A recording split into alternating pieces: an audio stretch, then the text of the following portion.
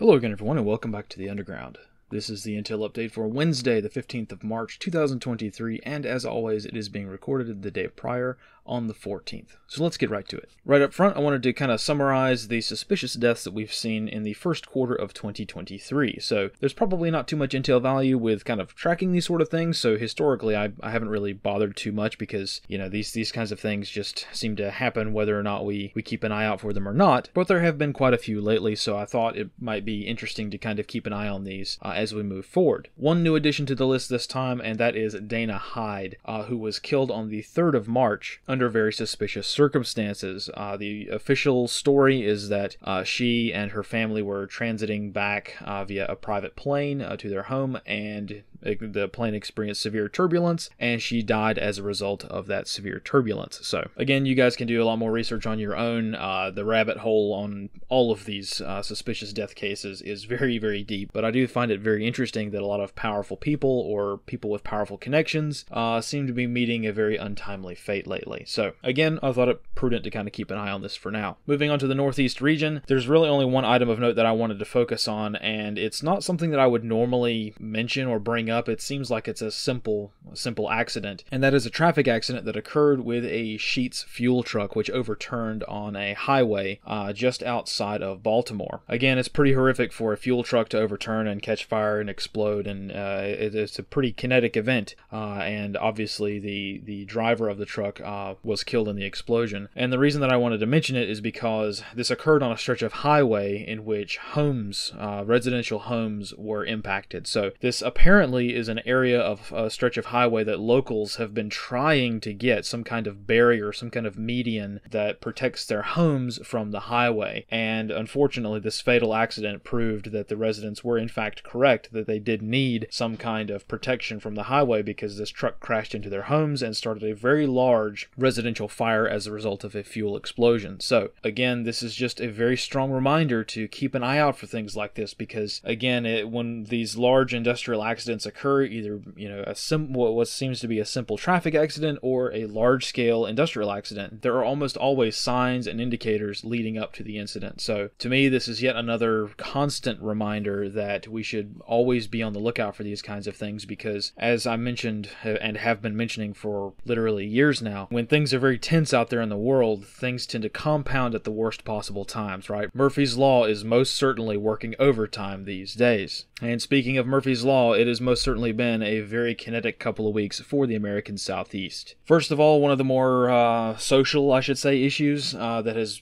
kind of gotten a lot of press has been the uh, Antifa attack on a law enforcement training compound just outside of Atlanta. Not a whole lot of details about this. Usually, the only reason that I'm kind of interested in these kinds of events now is that these kinds of groups, Antifa, you know, groups like that, tend to only show up these days when they receive an awful lot of funding. So, this facility, this law enforcement training center that is, you know, under construction slash partially operational now, I guess, has been a hot button issue in the area and really throughout the whole state for a very long time now. This is this is an issue that's several years running, right? And there have been protests there before. However, when whenever we see dozens and dozens of Antifa guys show up, it's not like uh, that's a an organic protest, if you know what I mean. There, there's there's a lot of uh, funding considerations that are most certainly coming into play when you see large, you know, conflagrations at, at facilities like this. So when I see something like this, you know, when the mainstream media picks it up, uh, I just think, okay, they've got some more funding. Somebody wanted to make this happen on that particular day, so they made it happen. Moving back to more industrial infrastructure concerns, in North Carolina, there have been two incidents worthy of note. Uh, the first of which occurred way back on the 13th of February, which I forgot to mention. Uh, but this was a very, very large fire at the National Salvage Facility in Goldsboro. So, this is a facility that processes, recycles, and manufactures railroad ties. You know, those big creosote wooden railroad ties. So, something that is extremely extraordinarily flammable uh, when stored uh, as they have been stored at this facility. So that fire uh, burned for quite a while. Uh, it's unclear as to how this is going to affect the you know national railroad tie supply. Uh, probably not very much. Uh, the facility is a fairly large facility, if I remember correctly, but I don't know how much the fire impacted things and how many railroad ties were consumed. Just thought it was worth mentioning this because this facility has ties to the railroad industry. More recently in North Carolina, on the 8th of March, there was an industrial fire which prompted evacuations in the town of Madison, North Carolina. It looks like the fire started in a liquid asphalt tank at an asphalt manufacturing facility. They're uh,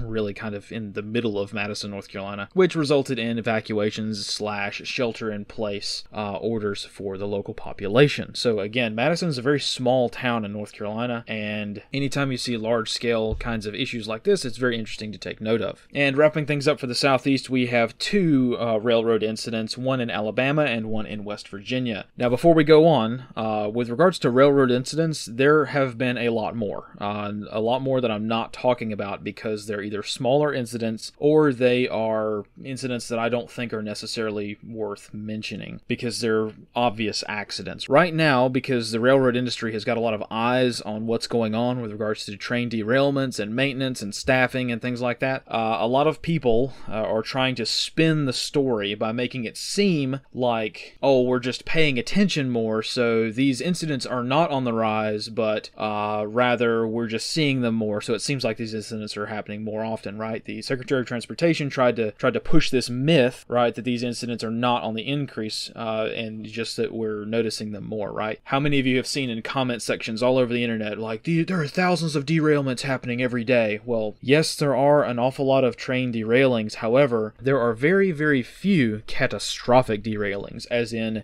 when you see the entire train leaving the tracks and becoming a stack of Lincoln logs somewhere in America. That does not happen very often. A single car slipping off the track here and there, yeah, that happens. But when it comes to entire trains being derailed or a substantial uh, amount of the train becoming derailed, that is most certainly on the rise around the country. So, with regards to the incidents that have occurred in this region, in Alabama on the 9th of March, another Norfolk Southern train derailed in Calhoun County. Now, this one's interesting because, again, 30 cars derailed uh, from this incident, and this particular incident prompted the Association of American Railroads to issue an emergency advisory with regards to rail cars that have loose wheels. So, there is currently around the United States a uh, an emergency advisory, I guess is how we should say it, with regards to train cars that actually have loose wheels, causing them to derail. So far, it looks like around 675 uh, rail cars are affected nationwide, and a good chunk of those, I think a little over a third of those, belong to Norfolk Southern specifically. So again, do not believe the lies that are being pushed by the government and by local agencies and local media, in which they're trying to make it seem like these derailings are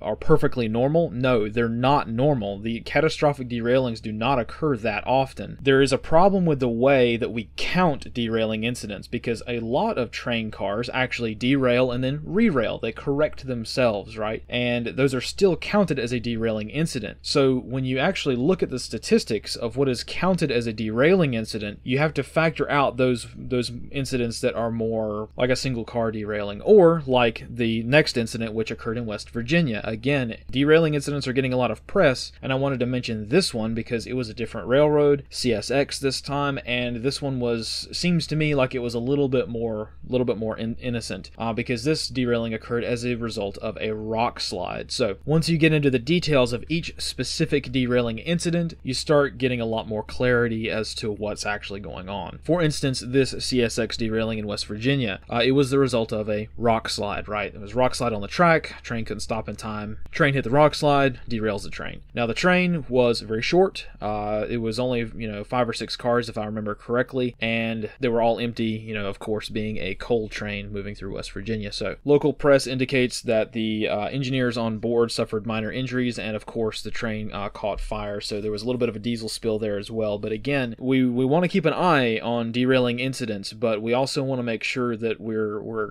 giving the appropriate level of concern to different kinds of uh, derailing incidents. Of course, anytime a train gets derailed, whether it's an accident or not, is a problem because again, trains are a finite resource, right? And they transport an awful lot of the cargo uh, around this country that we're that we need for basically daily survival. So anytime a train derails, especially locomotive, that's that's never a good thing. However, it's a it's a whole lot different when you have an entire 100 car long train derail and it just is just a catastrophic derailing like we have seen in Ohio. So I think that's probably a good way to transition back up to the east central Midwestern region and address the situation in Ohio. Really, the only details that I have found interesting regarding the East Palestine hazmat crisis have been in uh, the fact that the governor's office has confirmed that the Ohio National Guard Adjutant General, Major General John Harris, the guy that we mentioned last time, uh, shoved a reporter and kind of started that whole incident, uh, he's going to keep his job. Again, not particularly surprising because there are an awful lot of generals and even field grade officers in the U.S. military and National Guard these days that seem to be committing an awful lot of crimes and keeping their jobs as a result. So, again, not surprising. I did find it very interesting that websites like military.com and all of the Times, uh, the Army Times, has been slamming this guy, which is interesting because these are usually sources that are very pro military and not exactly quick to pick up corruption and other kinds of scandals. But uh, even these uh, traditionally mouthpieces for the U.S. military, you know, media sources are saying what is going on because, you know, any normal person like, you know, you or I would be in jail right now uh, for shoving somebody, you know, publicly during a press conference. But this guy does it on, on television and, you know,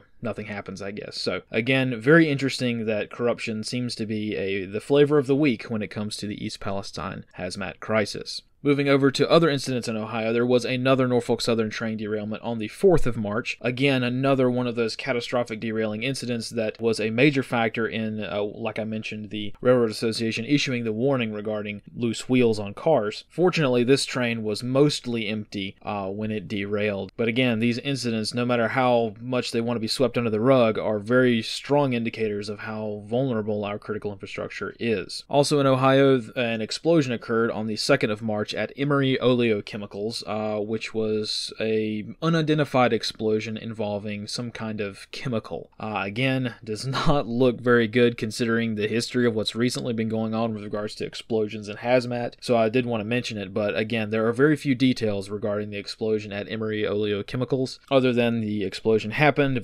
evacuations were ordered locally, and that's basically all we know. So we'll add this to the list of things that mysteriously have been exploding all around the country. Moving over to the West central Midwestern region, some very interesting staffing changes have occurred at Stratcom. This has been a very low profile event, but considering Stratcom's recent media involvement, I found it very interesting that six high level and mid level commanders have been relieved of duty following the failure of regarding nuclear weapons. If we look at our handy chart here, we can see the breakdown of the firings that occurred. As of right now, it looks like the commander of 5th Bomb Wing, uh, Colonel Hoadley, is going to keep his job. However, among his subordinates are where the firings took place, specifically the commander of the 5th Mission Support Group, and underneath him, the 5th Logistics Support Squadron. And of course, underneath that command, four unknown uh, officers whose names are being uh, kept from the public, presumably because they're probably uh,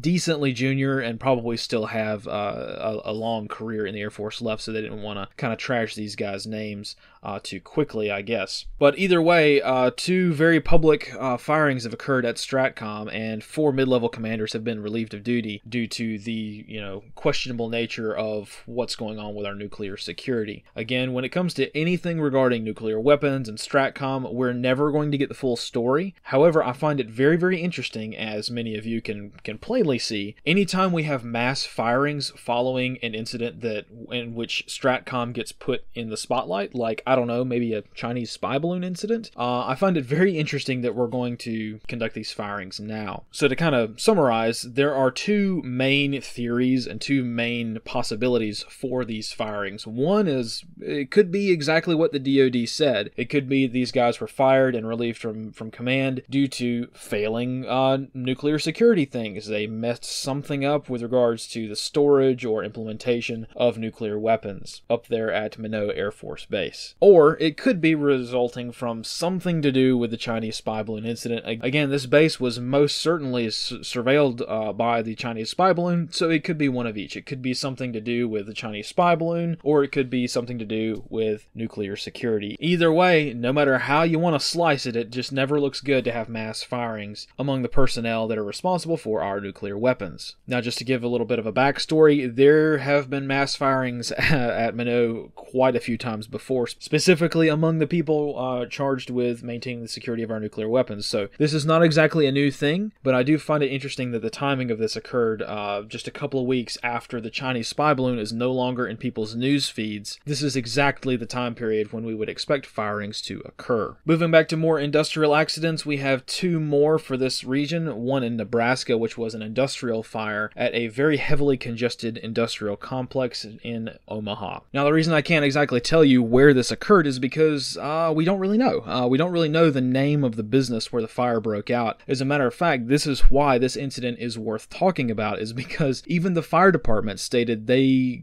had a hard time finding the fire because all of the companies in this little business park uh, did not have clear postings of their addresses. there weren't that many road signs, there weren't many address markers or anything like that. So the fire department had a hard time finding the seat of the fire. So again, just another reminder for those of you who work in industrial facilities out there that, you know, clear marking of uh, something as simple as an address uh, can result in a fire getting out of control. So just thought I'd mention that. And wrapping things up with Iowa, a grain elevator uh, exploded slash caught fire, uh, which was at a very large grain and uh, corn processing facility. So again, it's not something that's particularly rare. However, uh, I did want to mention it because you know grain elevator incidents at a time where food insecurity is very much a thing are something that we want to kind of keep an eye on. Moving down to the American southwestern region, things have gotten way more tense along the border with Mexico. As many of you know, the violence along the U.S. Mexico border has been very escalatory over the past few weeks, and the situation has not gotten much better. One of the main incidents that has caught my eye has been the assistance that the American Red Cross has been giving to illegal immigrants as they make their way into the United States. I figured this story would get kind of buried, so I did want to mention it uh, just so Americans are aware of where their tax dollars are going. Uh, even though this is not particularly a new incident, the American Red Cross has been assisting illegal immigrants for, man, decades decades now, I guess. A very long time for sure. Uh, but I did find it interesting some of the documents that have been captured by either law enforcement or other federal agencies by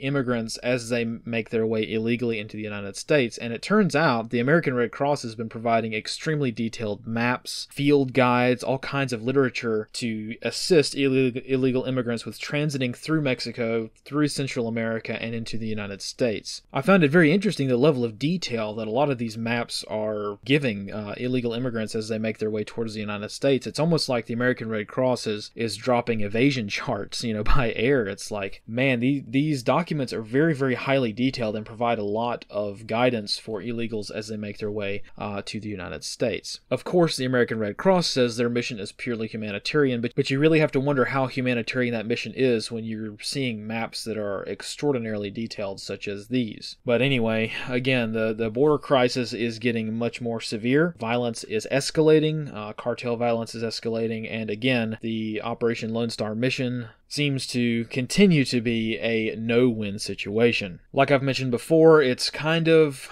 I don't want to say stalemate, but it's like it's just kind of a no-win situation. Uh, the soldiers down there on the border fighting this mission, they're being mistreated by superiors, and they are nothing more than a political pawn for politicians. However, at the same time, you know, it's it's a straight-up war zone uh, along much of the border down there. We're certainly way past the point where you could describe what's going on as an invasion. So, you know, what do you do? It's a garbage mission. Nobody wants to support it, and everybody who does support it either gets underpaid or mistreated in some way. However, at the same time, what are you going to do? You know, so uh, again, the politics of of the border mission and the crisis down there on the border, it's hard to separate the politics of what's going on with the ground truth of the kinetic situation down there. So again, I want to remind everyone that it's not simply just a political issue, and it's also not purely a military defense issue either. It's very much a blend of both. And I myself certainly do not envy anyone working down there because it's most certainly a hard mission in many ways ways, both politically and militarily. So, again, I just wanted to remind everyone that the situation along the southern border is not looking too great right now. And wrapping things up with the United States, I wanted to briefly mention what's most certainly a developing story, but that is the financial collapse that appears to be ongoing throughout Silicon Valley. I'm sure by the time this video gets uploaded and out, more details will be available, but it looks like several banks, as of right now, uh, no longer exist. Several banks so far that have been tied with the tech industry have completely and utterly failed, with the FDIC coming in and basically seizing all of their assets and kind of running the bank. Right now, this has caused several runs on many other banks around the country, and we're seeing long lines of people trying to get cash out of ATMs uh,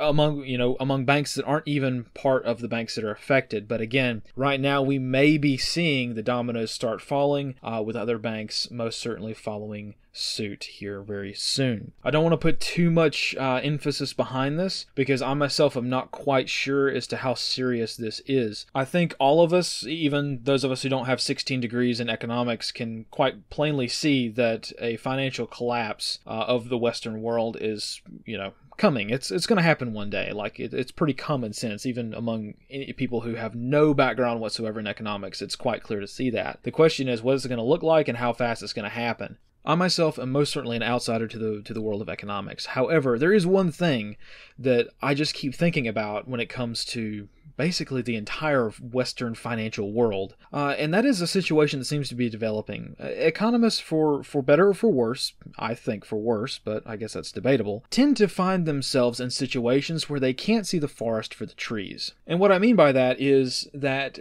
somebody like like me who has no experience in finance can plainly see that there are huge gaping chasms of vulnerabilities with our financial infrastructure, right? And I feel like at times, or most of the time, uh, the economics world tends to ignore problems that are so big that it seems like the only way to solve the problem is to completely start from scratch. However, I just don't know how much this is going to spread, or if it's going to spread, or if this is an indicator of what's to come. I mean, I think we all basically have common sense on, you know, the impending financial collapse, uh, whatever that's going to look like, right? We've been preparing for that for years, but now that it may be starting to happen, I don't think anybody's really any closer to a solution. Uh, I certainly don't know what you know what to do when you know your bank no longer exists. You know what happens when you go to take out money out of an ATM and it doesn't give you anything because your bank doesn't exist anymore. These are issues that have been in existence for longer than I've been alive, and I don't think anybody's any closer to any practical solutions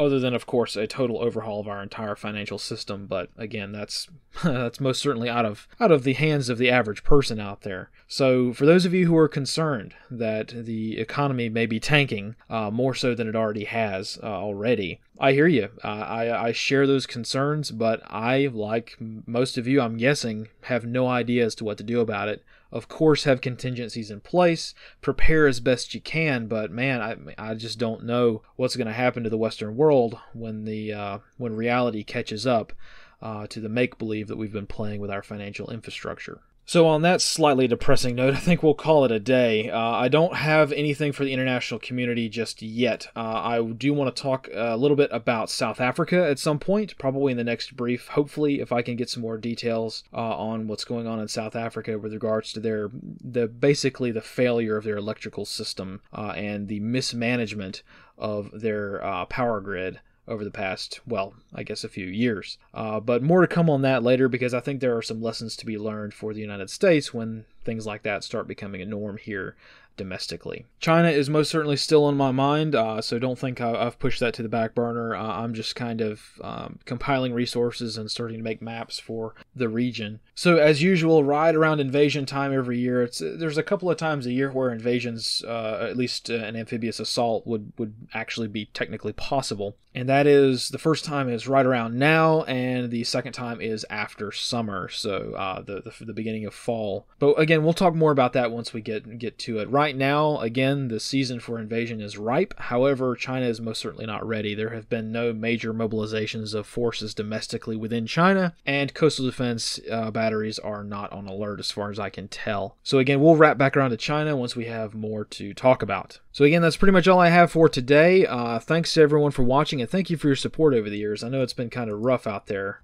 and it's only getting rougher. But we'll move ahead like always, and we'll keep doing the best we can. That's all we can do, I guess. Anyway, lots of other things in the background uh, that I've been working on. Uh, lots of other things the team here has been working on as well, uh, with regards to things like communications and war kitchen stuff. So stay on the lookout for that as we move forward into the spring. So with that, thanks again everyone for watching, and we will see you next time. And as always, fight in the shade.